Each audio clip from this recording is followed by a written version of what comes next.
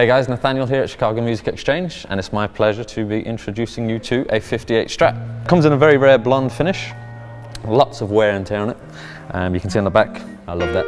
The neck is from 1957, and because it is from 57, it does have that very subtle and coveted V-neck profile. The body is from 58, the pots from 57, serial number is from 57, 58 also. Around that time, there was Mary Kaye spec Stratocasters as well, uh, with the gold hardware. As you can see, we've got the nickel hardware. If this was a Mary Kaye spec with the gold hardware, it would be twice the price.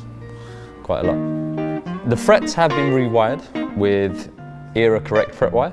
The neck has been oversprayed uh, quite a long time ago and feels very comfortable to play. It also does come with a tweed hard case, the original. I'm also playing it through a 1957 Fender Princeton Tweed, which as you can tell has also seen a lot of life on the road, much like the guitar. Would have been made in the same factory, probably just months apart from the guitar itself. An absolute pleasure to play both of them at the same time.